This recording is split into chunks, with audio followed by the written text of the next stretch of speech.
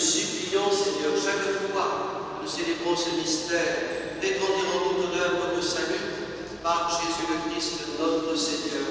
Amen.